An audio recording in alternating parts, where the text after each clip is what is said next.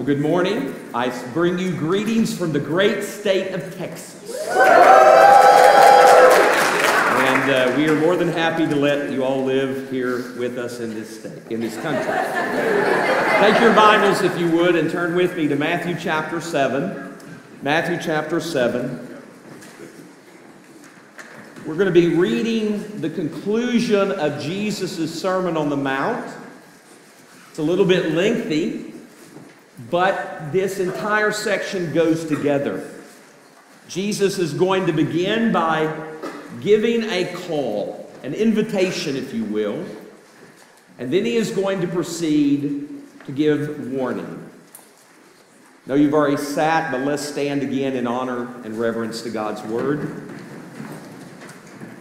Let's look at Matthew 7 13.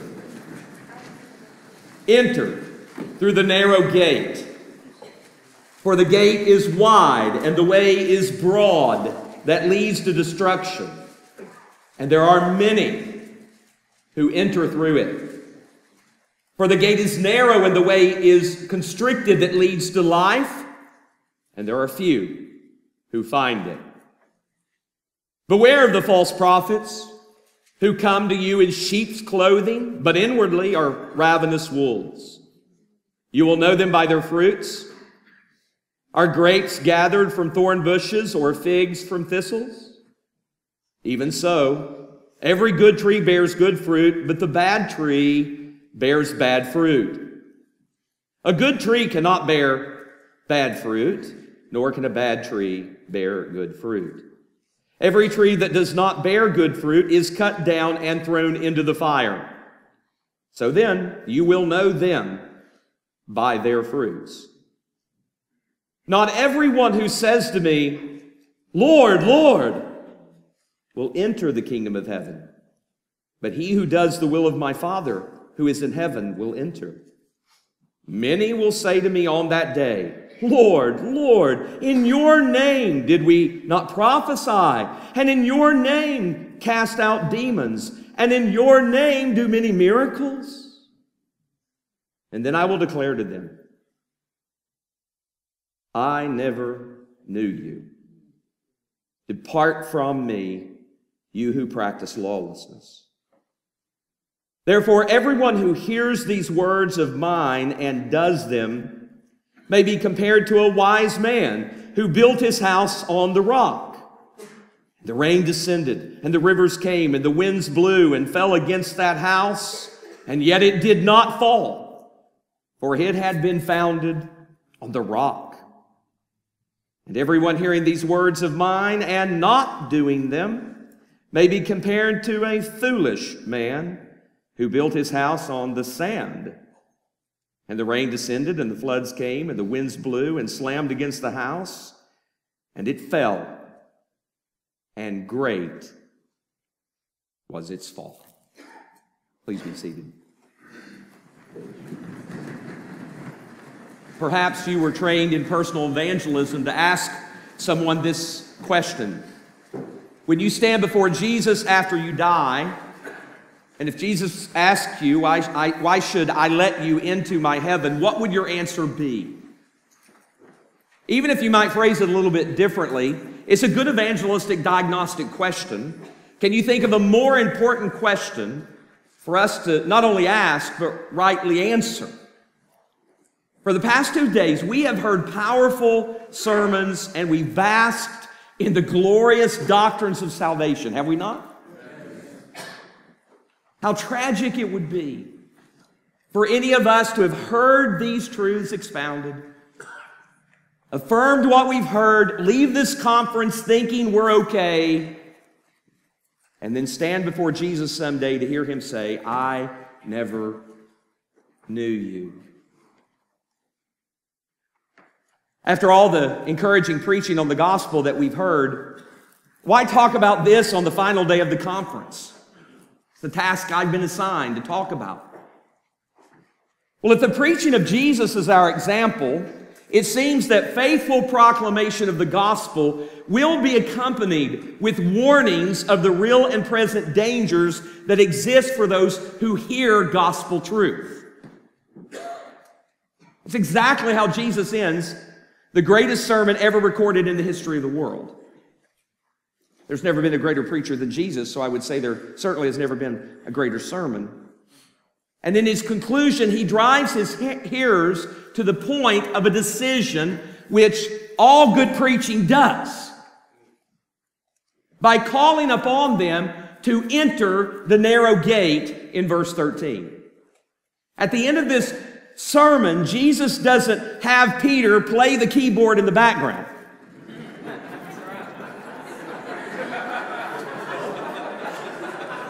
or a Hammond organ.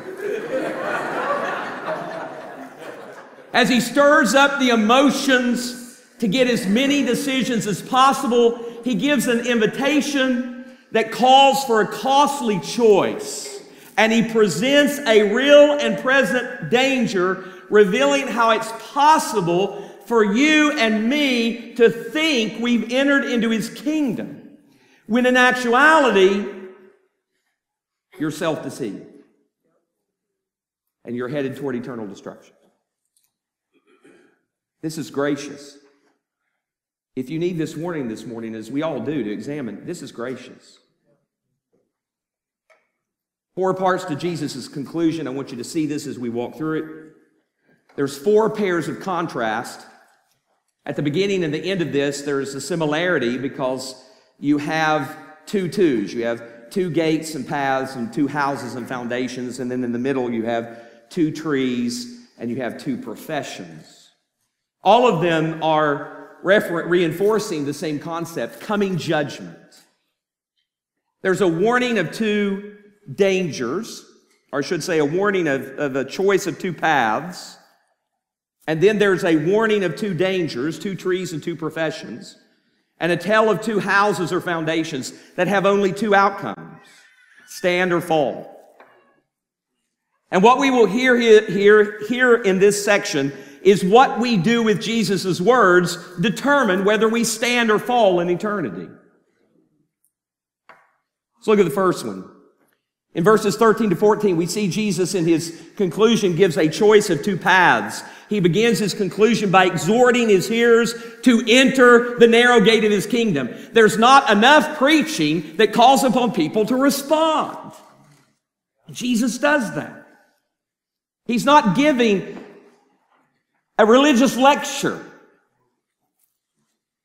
And if we were to draw from the beginning of his sermon, this entrance that he's calling them to would be to confess your spiritually bankrupt state, to mourn over your sinful condition, to humble yourself before God, and come to him for the righteousness that he alone can give you.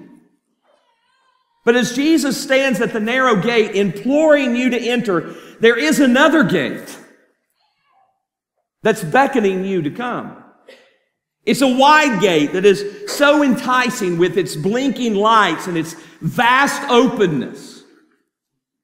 Crowds can get through this wide gate. And the road is broad with, with countless people on it. And Jesus warns, though, that there's looming danger through this gate and down this path because it leads to eternal destruction. But it's enticing. You can enter through this gate and you can be whoever you want, live any way you want. You have to leave nothing behind, including your sinful desires and tr- attractions. No real repentance, no dying to self. You can bring all the religiosity we'll see that you want with you. And self righteousness doesn't have to be relinquished. The other gate and the other path is narrow. In fact, the, the path doesn't broaden out after you go through the gate. It's a narrow gate, it's a narrow path, it's the exact opposite of the wide gate. The narrow gate rejects the concept of man's inerrant righteousness, as Jesus even introduced his sermon, talking about our need to hunger for righteousness. You'll have to leave friends behind who are on the broad path. You must leave self behind. You must pick up your cross and follow Christ. You may even have to leave family behind as Jesus comes not to bring peace but a sword and he divides even mother and daughter, father and son. No wonder, no wonder there are few who find the narrow path. Sadly, though, some don't find the narrow gate because they heard a gospel invitation that actually invited them through the wide gate while calling it Christianity.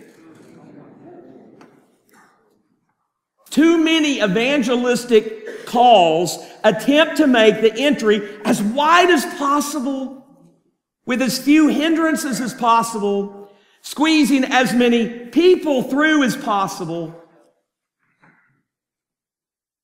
I recently heard a mega church SBC pastor who sadly was also the chairman of the board of the church planting arm of the SBC.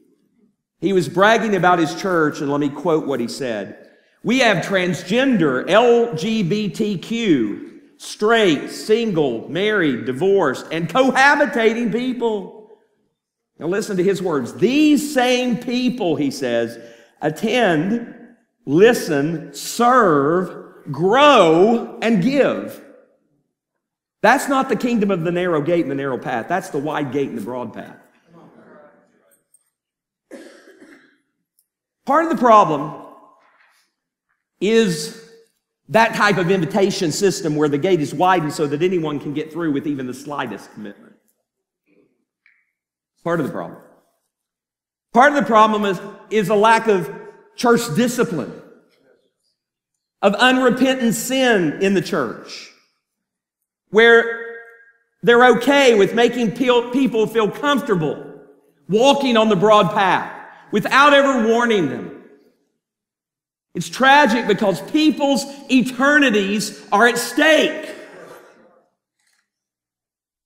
Yet many churches show little to no concern to be sure that the names written on their church roll exhibit any evidence that those same names have been written on the Lamb's book of life. It's not so with Jesus. He loves us too much to coddle us into hell. He didn't pass out response cards at the end of his sermon to ask for hands to be raised for those who wanted to join his kingdom. He didn't offer a sinner's prayer to quickly recite. His invitation wasn't belong before you believe. Jesus gave an illustration that called upon them to leave everything behind and enter his kingdom through the narrow gate. The word that Jesus uses there for narrow gate indicates a very small gate that one person can barely pass through. It's, it's a one at a time proposition if you will. It's the exact opposite of the wide gate. But he moves from this choice that he gives to then in verses 15 to 23 to give a warning of two dangers. First, if we want to be careful not to enter the wide gate or end up on the broad path of destruction, in verses 15 to 20, he says there are outside dangers that we need to be aware of. False prophets are going to rise up and they're going to encourage you to enter the wide gate and they will work hard to keep you on the broad path. They are deceptive because they come in sheep's clothing. Their teaching is often subtle. It's likely hard to detect if you aren't discerning and watchful. They mock those who give warnings about the wide gate and the wide path. They'll call those giving warnings legalistic, hyper fundamentalists,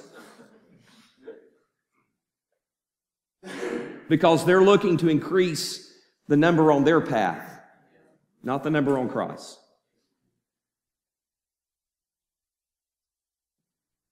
But not only are false prophets deceptive, they're dangerous, Jesus says. Outwardly, they come in sheep's clothing, but inwardly, they're ravenous wolves. They will de- devour and they will carry as many people to the path of destruction as possible. Therefore, we must be on guard against them. Because they're deceptive, they'll deny their false prophets, and they'll often sound like true prophets. So we need to know how to identify them. And Jesus explains that these false prophets will be known by their fruit. Now, we don't have time to examine that this morning, but Jesus says elsewhere in Matthew that their identifying fruit is the content of their teaching, the, their personal character, and the character of those who follow their teaching. But that's not the primary danger that I've been asked to address this morning. After warning about the dangers of false prophets, he then warns about the danger of false professions. For many, the greatest danger they face is not dangers from without, but dangers from within. Not the deception of false teachers, but the deception of self. In verses 21 to 23, you see in the text here, we learn a sobering truth. We learn that the number of those who will enter the kingdom of heaven is smaller than the number of those who profess to belong to Jesus. Not everyone who calls him Lord will enter the kingdom of heaven. Only those who do the will of the Father will enter. No exceptions. If you water down Jesus' word, you do so at your own peril. First, entering the kingdom of heaven is more than a verbal profession. It's more than that. There are many who will profess Jesus as Lord who won't enter. And if we take Jesus' warning seriously, it's quite possible, maybe even likely, that there are people in this room who have said, Lord, Lord, but if judgment day were today, you will not enter heaven. You've made a false profession. And this brings me back to the opening question. If you stand before Jesus on Judgment Day and he asks you why he should let you into heaven, what will you say? We'll look here in the text at what Jesus says will be said by many. Lord, Lord, did we not prophesy in your name and in your name cast out demons and in your name perform many miracles? It's important to remember that Jesus is not issuing this warning to irreligious men. He's addressing those who were deeply committed to religion. And he says there will be individuals who will stand before him on judgment day who seemingly have all the right credentials that would be thought in, in that day to guarantee their entrance. How shocked this crowd was when Jesus earlier said in the sermon that your righteousness must exceed that of the Pharisees, who were the most fastidious law keepers, of, at least from what they told people. This warning should wake us up because he doesn't say there are few who will make a false profession on Judgment Day, but many. And the warning gets increasingly alarming because I don't know if you notice, these people don't just say things. It's not just about a verbal profession won't get you into heaven, but they had done things. A busy, busyness, religious busyness won't get you into heaven. Examine their profession. I'm going to build and expand upon John Stott's observations that he made on this. First, it's an orthodox profession. Jesus is saying there will be those in the history of the church who will confess his divinity, Lord, Lord, but have no saving relationship with him. Second, their profession is passionate. Lord, Lord. The repetition emphasizes it's an enthusiastic profession. Third, it's a public confession. These were not your, mine's a private faith, thank you very much. Their profession was made for all to hear. They shouted from the rooftops. They, sh- they felt confident in front of the King of Kings and Lord of Lords. Fourth, it was a profession that produced results. There seemed to be outward powerful evidence that they were the real deal. They prophesied or preached in Jesus' name. They cast out demons in His name. They performed miracles in His name. You know what I think one of the most stunning things about this? The most stunning things about what these individuals claim? It's not what they claim to, to have done that, think, that they think guarantees them entrance into heaven. The most stunning thing to me is how many people today think they'll enter heaven on far less claims. Much of today's cultural Easter Christmas Christianity, it doesn't take nearly as much for people to show up to your funeral and believe you're in heaven. If you have the same likes and dislikes about social morals or certain political positions, you'll likely pass as a Christian.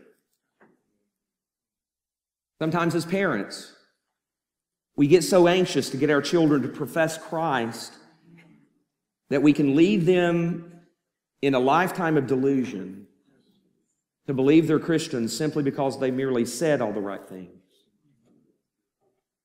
So if you pray a sinner's prayer at a young age, people will count you in the kingdom no matter how you lived.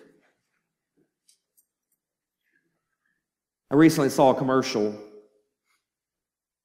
by Franklin Graham, about a 30 second, 45 second commercial addressing people regarding the pandemic. My heart was broken when he says, Pray this prayer God, I sinned. I'm sorry. I believe Jesus is your son. I want to trust you as my Savior and invite you in my heart. That was it. Now, he tells you to call afterwards, but how many people say, well, you know, a call's not going to matter? I did what he told me. I prayed the prayer. My goal is not to house on Franklin Graham. I'm thankful for a heart that wants to see more people saved. My goal is not to get you to doubt your salvation or the salvation of others. It's not to be lazy about evangelism. It's not to squelch your desire to see your children to come, know, come to know Christ at a young age. The issue is we need to be aware of the danger of being personally deceived into thinking we're a Christian when we're not and the danger of offering a quote unquote gospel that facilitates people to think they're saved when they're not. The only two places you'll find Jesus are at the narrow gate and the judgment seat. He's not on the broad path, he's not at the wide gate. But before we pounce on, pounce on Graham or some other preacher? Could it be, Pastor, that the greatest danger for your people is not the preaching of Joel Osteen, but your own? Preaching that lowers the bar in order to make it easier for people to respond. Biblical preaching must call for a response. And there are many preachers that preach quote unquote sermons that never call upon people to enter the narrow gate. Jesus called for people to make a choice. In fact, if your preaching doesn't demand a response, you gave a religious lecture, not a sermon. There's nothing wrong with religious lectures, but not in the pulpit. We must call for the right response. And one reason we have so many false professions being made is because we have so many deficient gospel responses being preached. Our goal is not to get more professions. We're responsible to tell the truth, the whole truth, and nothing but the truth. So help me God. And nothing but the truth about what a genuine profession is.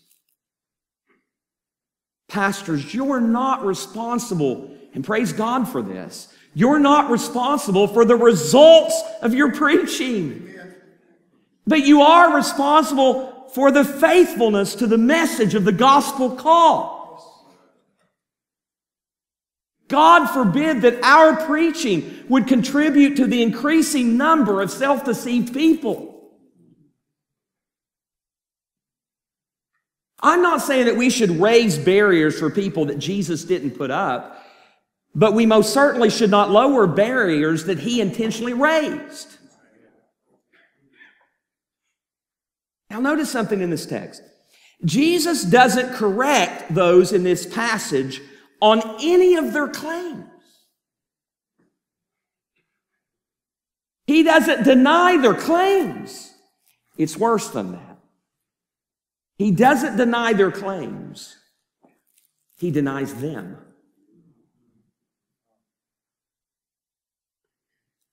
In one of the most penetrating passages in all of Scripture, that should shake us all the way down to the bottom of our feet. Jesus says, I never knew you. Of course, anyone who is a Christian will believe and say, Lord, Lord, to Jesus, right?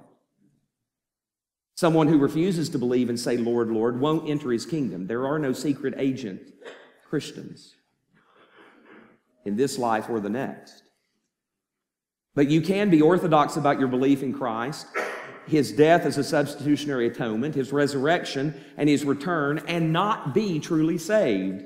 You can be fervent in your claims and have a laundry list of apparent results, and none of that grants eternal life. Look at verse 23. Jesus says, Then I will declare to them. Now, that word declare means a strong confession. I think that's interesting to get the full effect of Jesus' words. He essentially says there will be those who make a big confession as they stand before him on that day, and he will respond by saying, Here is my confession about you. I never knew you. Depart from me, you who practice lawlessness. Now, don't misunderstand what Jesus is saying. First, he's not talking about someone losing their salvation. He didn't say, I knew you and forgot you. He doesn't say, I knew you, but you have fallen out of favor with me. He doesn't say, I knew you, but now I reject you. He said, I, what? Never knew you. So this is someone who never had a saving relationship with Jesus Christ.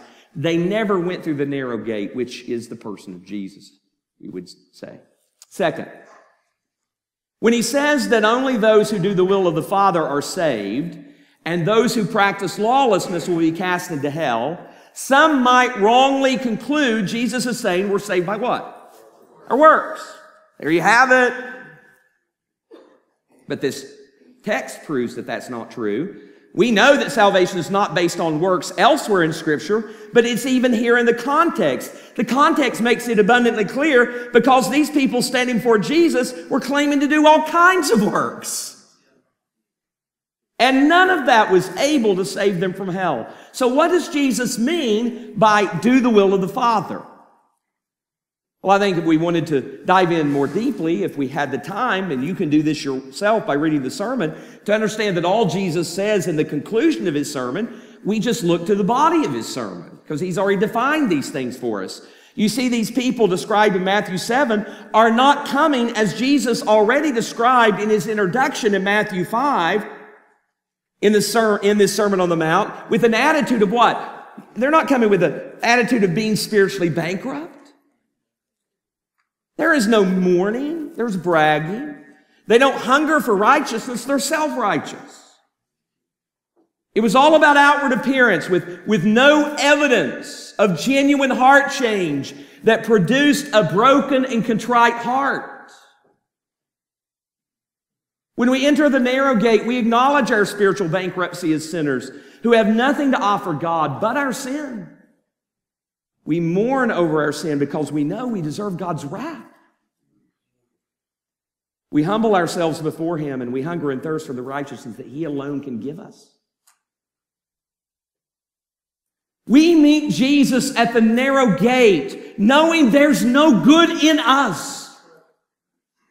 And we know that on Judgment Day too. We confess our sin. We surrender to His Lordship. We say, Nothing in my hand I bring, simply to the cross I cling. None of these people that Jesus describes coming to him on Judgment Day sound like John Newton, the author of the great hymn Amazing Grace.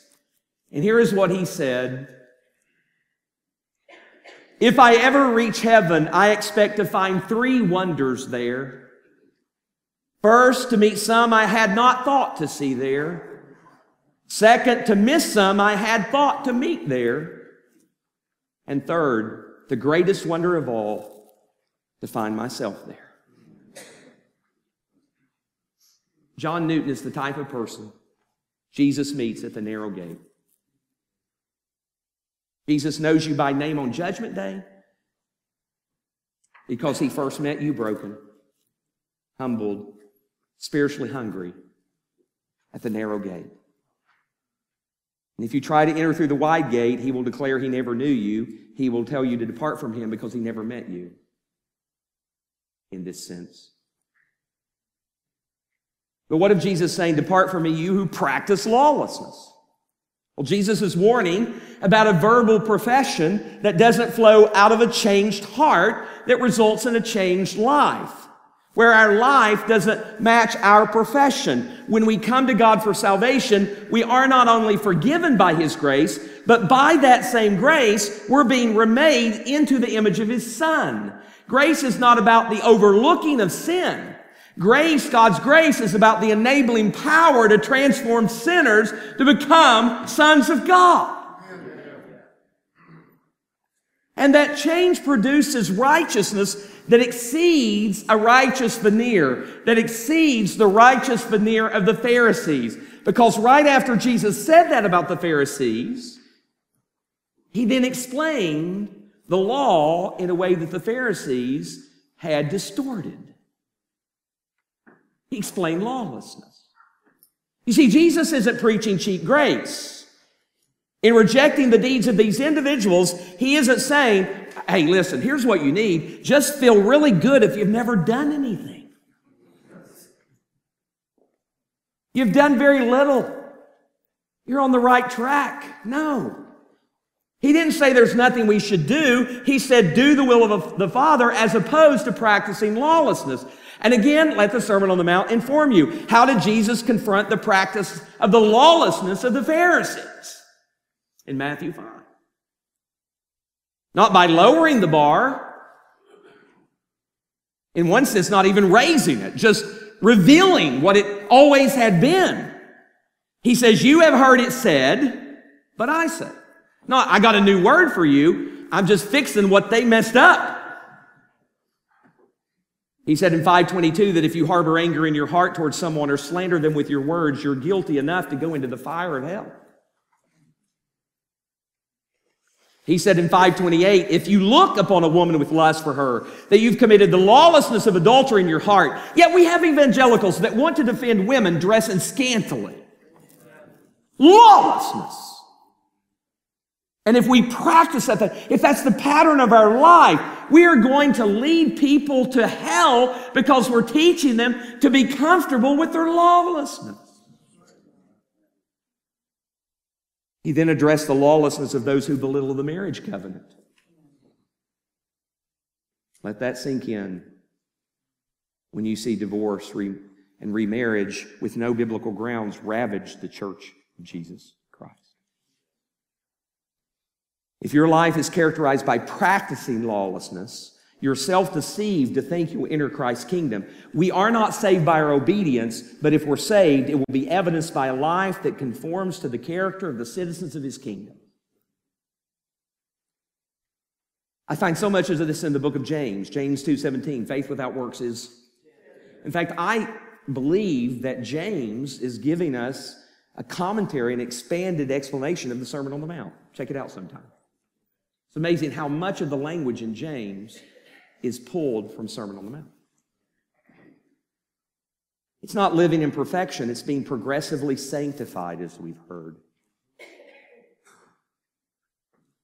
While all saints are not conformed to the same degree.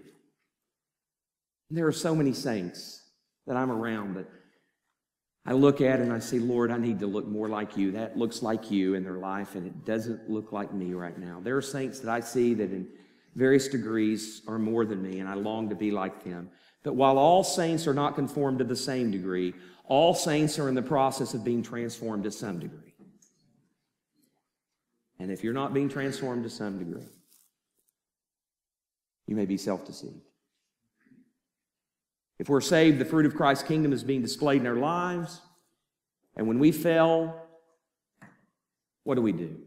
We mourn over those sins, we confess them, we seek to be further transformed and we remind ourselves that if anyone confesses his sin, God is faithful and just will forgive us and cleanse us of all unrighteousness. We are a spiritual work in progress, and our lives are progressively being built upon Christ. You could use the illustration of building a house, which is exactly what Jesus does.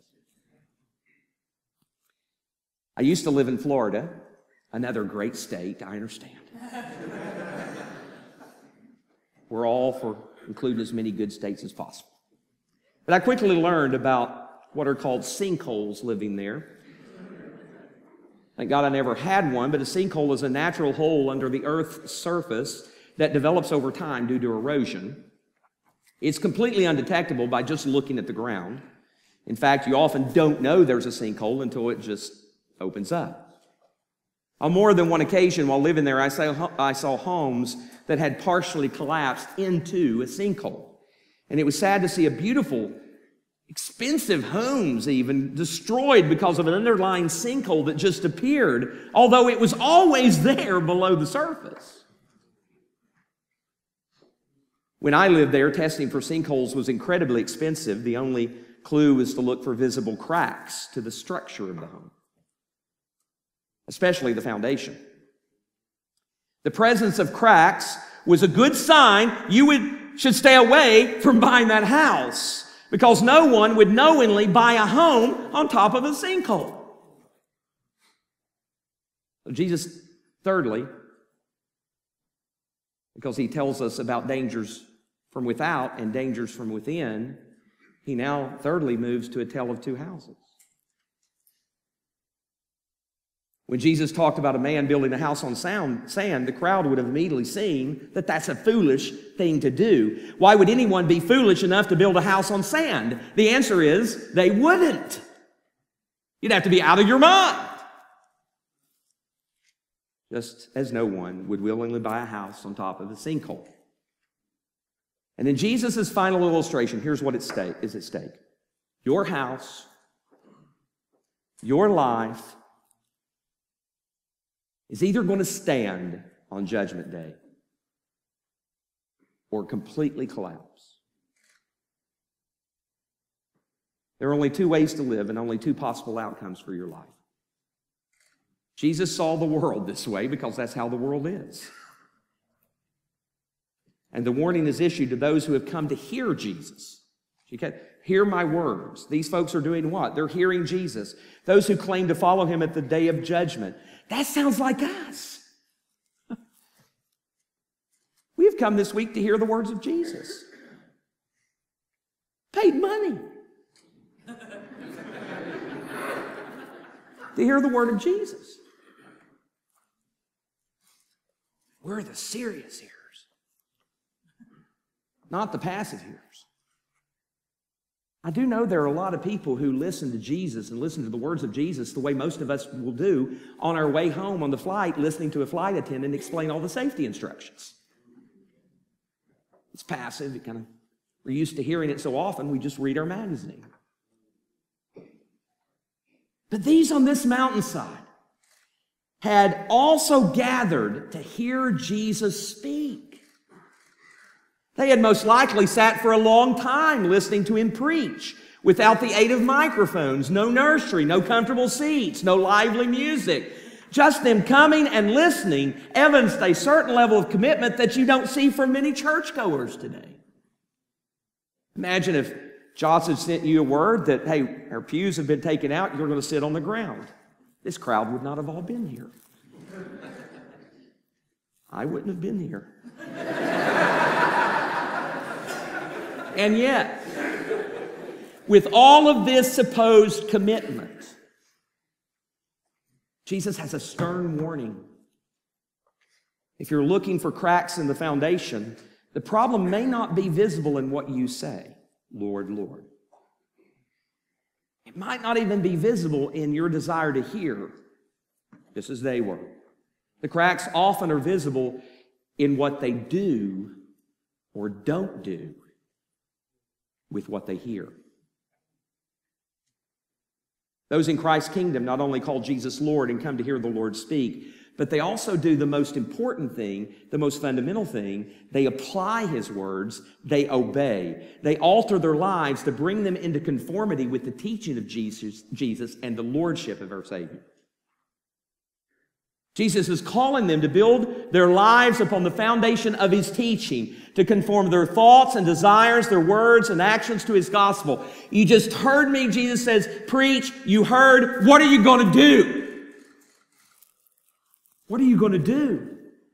Saving faith is the positive response to a truth presented. When the Word of God is declared, it calls for a response. Therefore, our doing is absolutely critical because it reveals who and what we are. Every time we hear the Word, we must act upon it, brothers and sisters.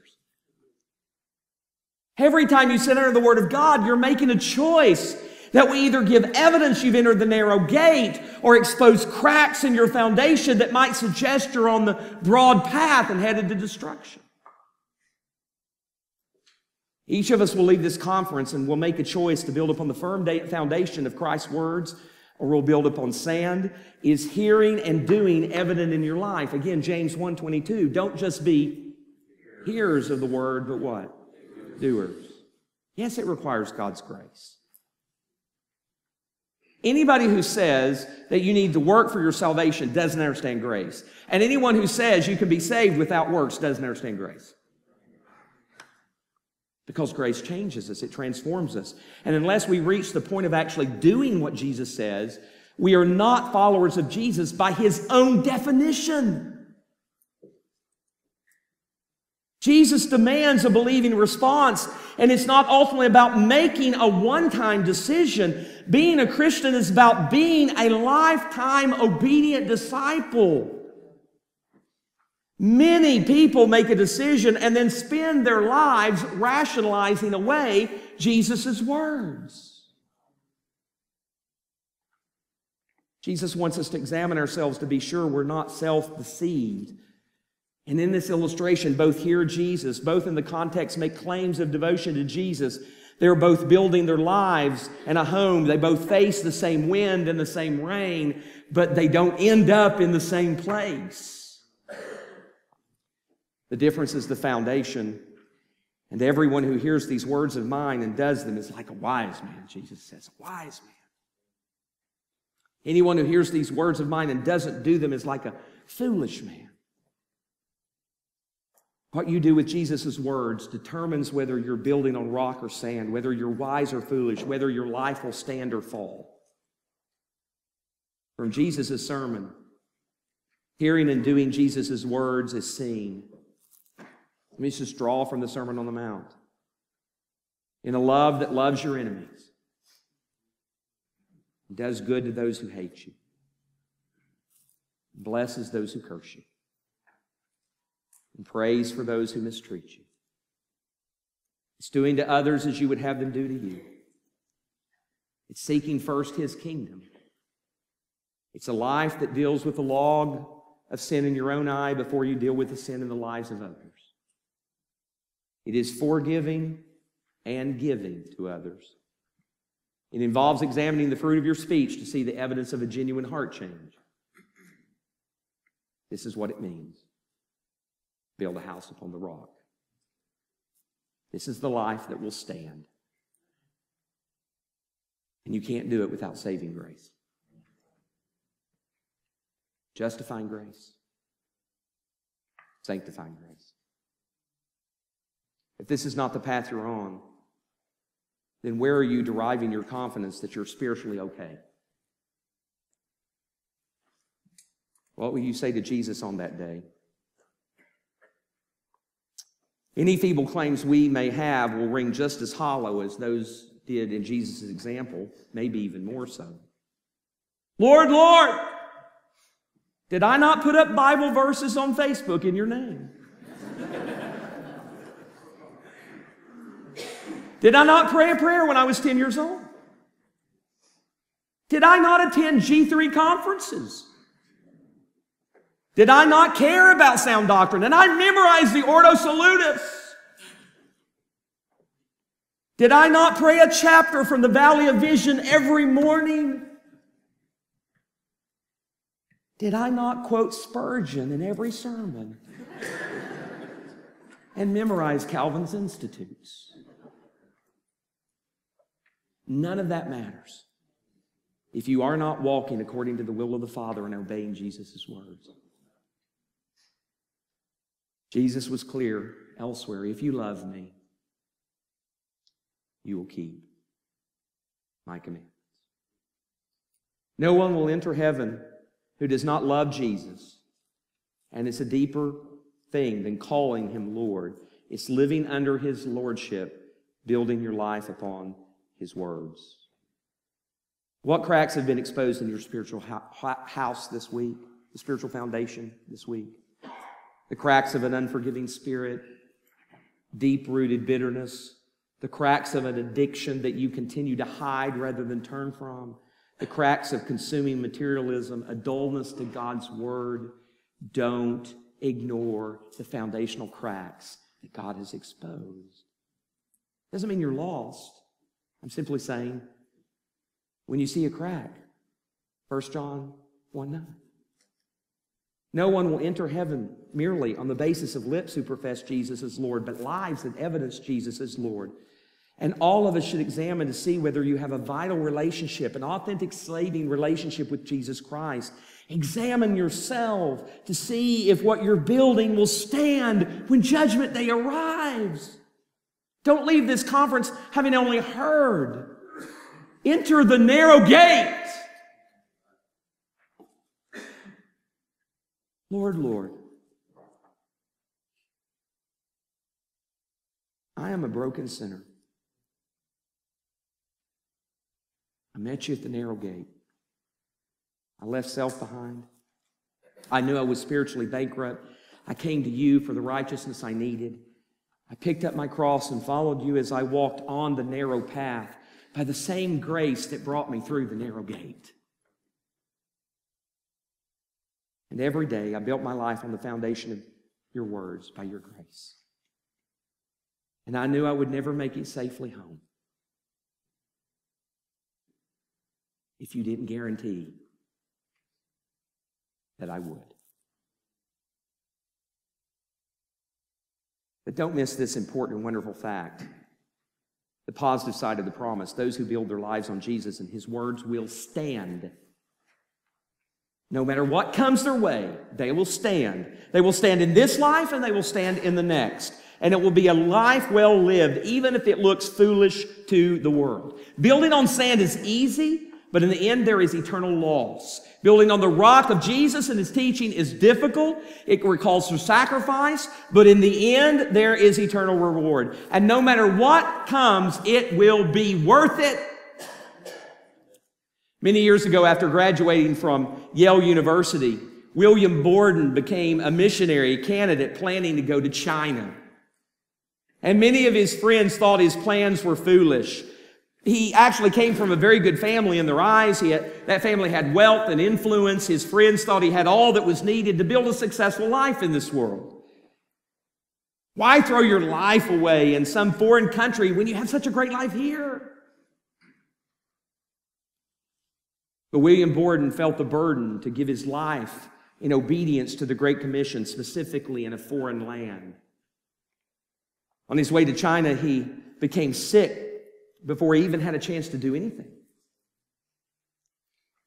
It soon became evident that he was going to die, actually. He certainly could have allowed the voices of those who had discouraged him from going in the first place, those who, some of them may have been on the broad path saying, Join us.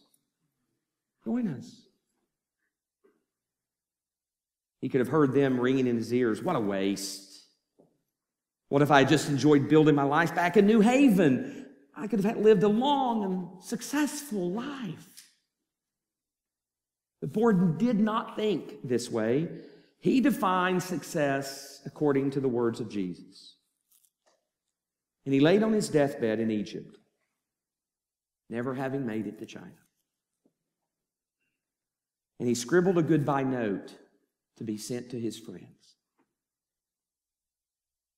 No reserve, no retreat.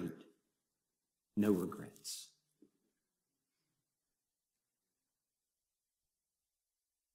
How could he say such a thing?